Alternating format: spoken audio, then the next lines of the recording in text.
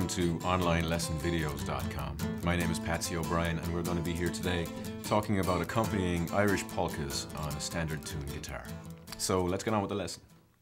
So some of you may well be wondering um, why polkas are within the Irish tradition at all, given that, as you will suspe have suspected, the uh, name polka would suggest that they're not an indigenous part of Irish music.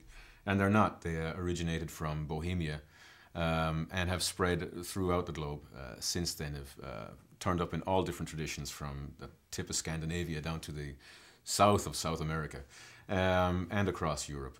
But um, Ireland not being apart from all that, the, uh, they seem to have settled into the tradition quite well, uh, especially around the southwest, around the Cork and Kerry Limerick border, an area known as Sliabh Luachra. Um, the rhythm is 4 4, but they tend to be counted uh, 1 2 1 2 1 2 1 2 1 2. And in the Irish tradition, that is no exception. Um, so with that, we're going to look at a polka which I call O'Driscoll's polka. Um, I'm not sure if that's the name, but um, I got it from the playing of a banjo player from Cork City called Sean O'Driscoll, great player. So that's the polka we're going to look at today.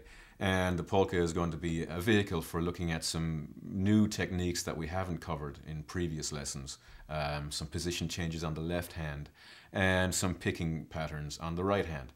Um, so this is going to be uh, a more a slightly more advanced lesson, you might think, to some of the other ones. Uh, it's going to throw up some challenges, so um, let's get to it.